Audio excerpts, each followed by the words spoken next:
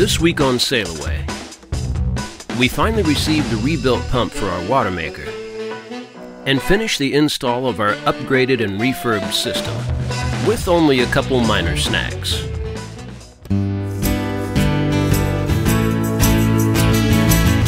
So meet me on that island. Kiss me on that shore. Hey, promise me that we'll sail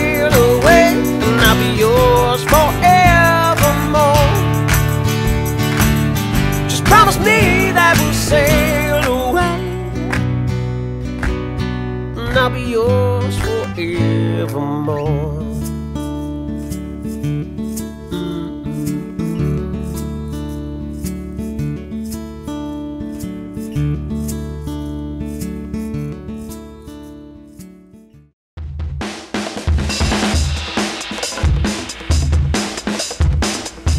What we have going on here is another reorganization of our water maker and all the components because our pump is almost finished and they're going to be hopefully shipping it today or tomorrow.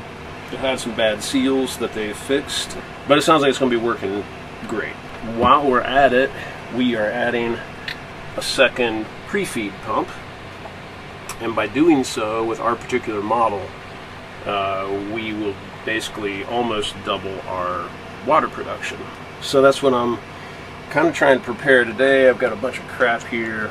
Got our switches. I've got some new hose wiring fittings stuff I've been gathering. It's been hard to find all the stuff we need.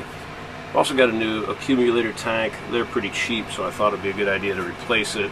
So that is what I'm doing today, trying to get prepared for when the pump comes. Hopefully I can just sort of bolt it in, hook it up, and we'll be ready to make water.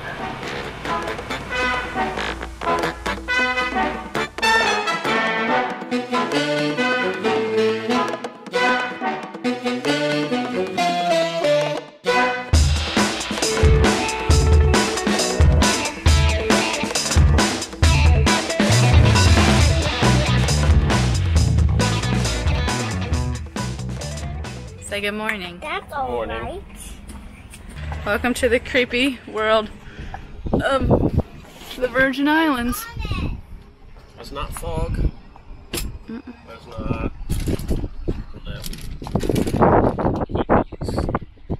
It's been like this for two days now. And that is just dust from Africa. We'll have to cut in some pictures of what it looked like before, but you could see all the way out there. There's like container ships that are anchored out. Visibility was awesome. You can't see anything now. We haven't been coughing exactly, but it doesn't feel right. Like just sitting up here. Last night it was real bad. It was real hot. Just sitting up here breathing just felt. First time we've ever experienced this though. Heard of it. Yeah, it is nine, about nine o'clock right now. So Yeah. it looks like, I don't know, dusk. And it normally looks like this.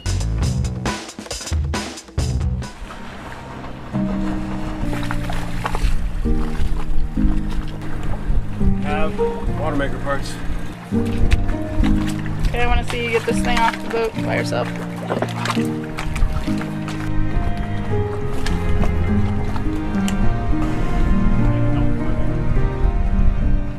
So excited for some water and a fresh shower, and we're gonna clean things. The bilge.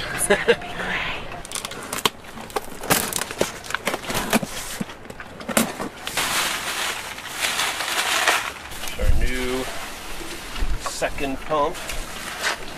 Double our production. I'm gonna take it back and build. I don't know where. New fittings. Pressure gauge. They mounted it to a board, which was glued into the box. That's it. Everything should be pretty set up to go down there though, so I think it'll be too bad. We'll see here in. Okay. All right, I think I'm ready to do this. Step one, beer. And this is one of those manly jobs, you gotta have a beer first. I think I'm gonna start with our new pressure meter. Uh, our old one, as you can see, is missing a couple little pieces and it's looking pretty rough. So this should be a drop-in replacement. We'll see.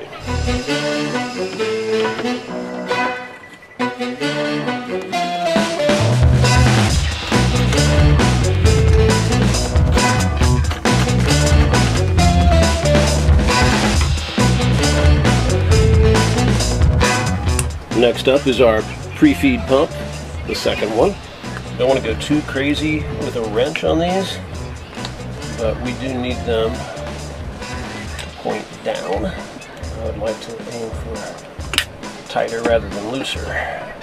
Alright, she's pretty much ready to go. Now I've got this spot all set up, ready to go for us. Got our new fan mount down there. Uh, there's a little bit of room for him to swing. But we have basically two inlets and two outlets as far as hoses go. And they are arranged in a somewhat confusing T manner. Okay. In and out.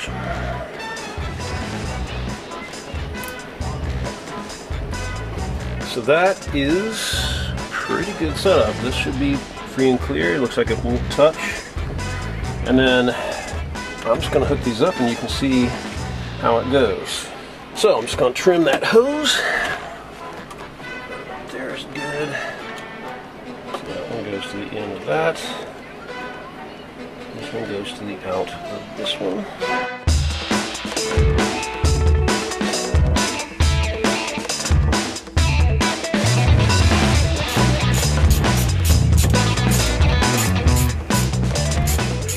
So now we have both the pre-feed pumps hooked up.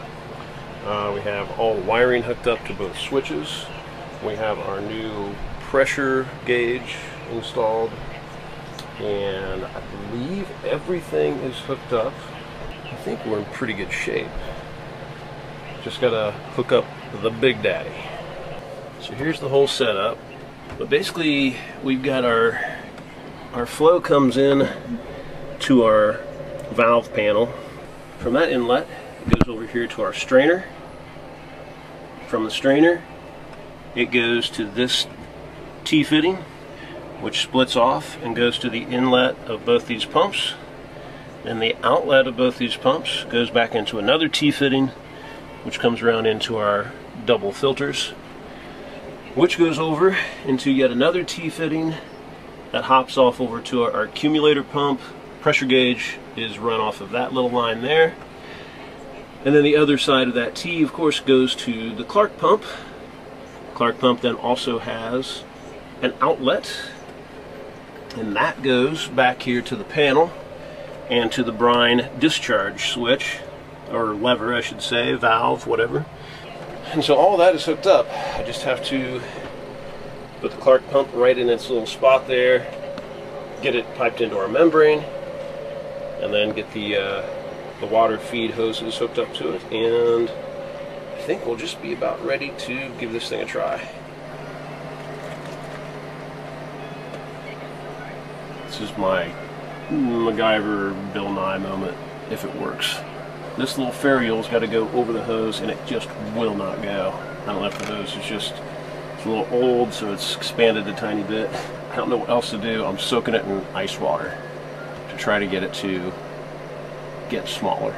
A few minutes it's probably I think it's cold. Failed. Yeah, my Bill Nye moment did not work. I did not get that that little ferrule to slide onto the tubing except right to the very end. That's just not how they're supposed to work. I'm probably going to have to just go buy new high pressure fittings somewhere. So we got the water maker on Friday back, which you saw. You also saw how that didn't work. So now it's Monday and we're going to, what's it called?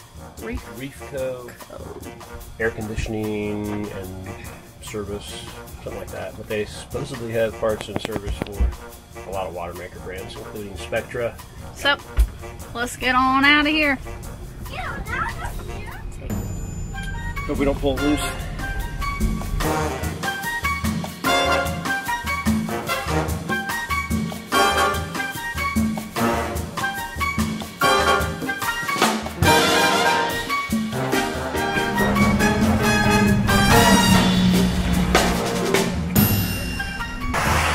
Freaking overwhelming.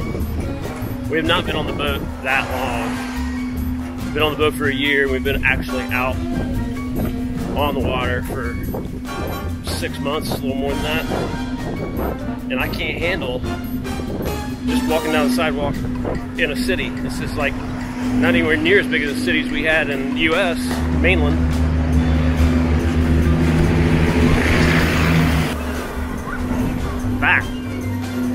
Tons and tons of that. Just uh, ready to get the hell out of here. Proceed.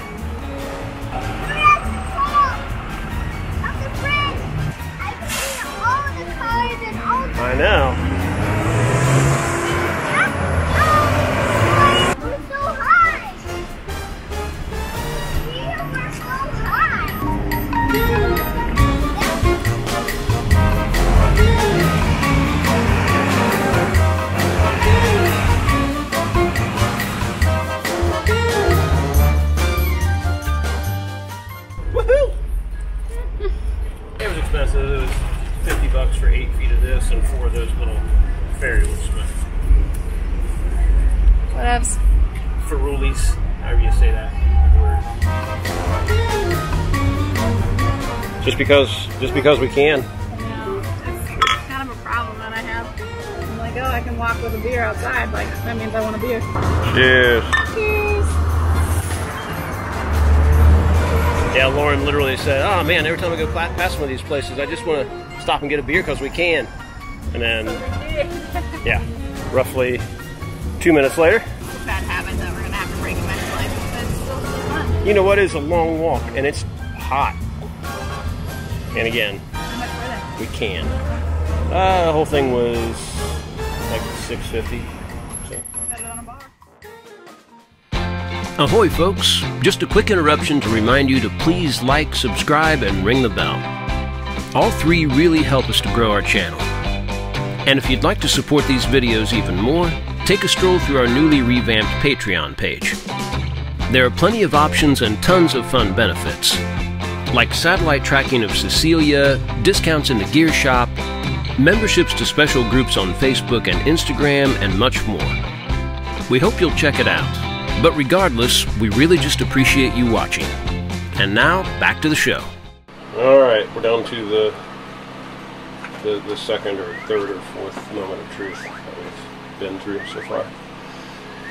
Everything is plumbed. I got the brand new high pressure lines on, and they should be tightened to spec.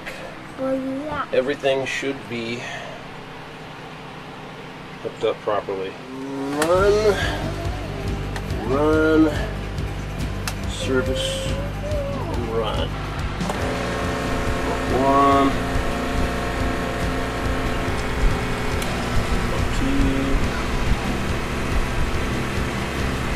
We gotta let it run for 10 minutes. We will pressurize it and hope there are no more water explosions other than an explosion of product water into our tanks. I've just increased the pressure and uh, pump is moving back and forth. I'm just on one pump right now just to kind of ease our way into things. Watermaker's working great. I mean, it's it's putting out eight and a half gallons per hour, uh, and when we double up the pumps, right about 15, which is what we were hoping for. We have 15 gallons an hour. Good, because I'm gonna drink some water right now. The best news of all is that right there. running at a nice steady 70 some psi and putting out about 14 to 15 gallons an hour. That is awesome. A big old blob of pizza dough right there. Whoa! So Lauren both makes the pizza dough from scratch, and she makes the sauce from scratch. And then basically I just take over and make the pizza, and it seems like I made the pizza. It seems like I made the. It's a pretty good deal.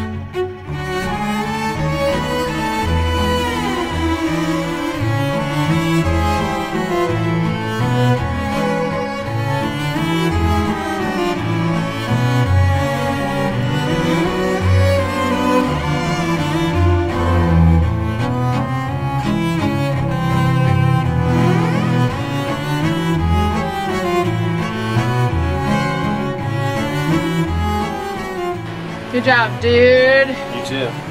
Thanks. Good job, dude.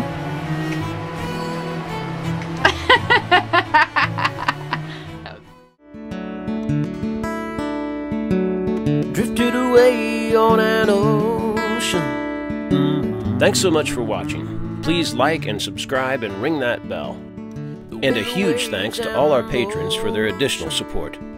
If you'd like to become a member of our crew, just check out our Patreon link in the description. Cheers. I'd be listless and lonely if I didn't have you to hold me as the sun sets and miles roll by.